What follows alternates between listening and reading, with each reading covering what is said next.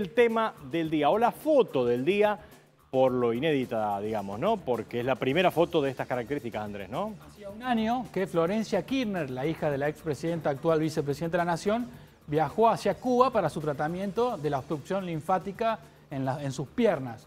Esta mañana tomó gran viralización en las redes, principalmente a través de Instagram, en la cuenta de la expresidenta Cristina F. Kirchner, la foto de ambas, juntas en La Habana, mediante sigue, continúa su tratamiento médico en la capital cubana. Recordemos que Cristina Fernández en su cuenta de Instagram tiene más de 1.100.000 seguidores, que esta fotografía ya superó los 186.000 likes o me gusta.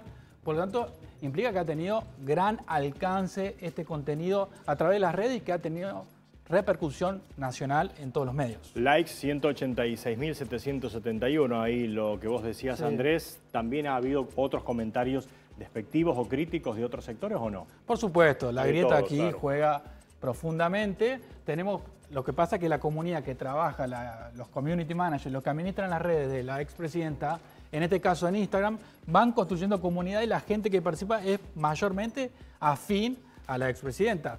Pero por supuesto están los denominados haters, que son los odiadores seriales en las redes sociales, que siempre eh, generan sus comentarios y que muchas personas públicas en este caso son víctimas de los odiadores a través de las redes. Gracias Andrés, ya volvemos contigo.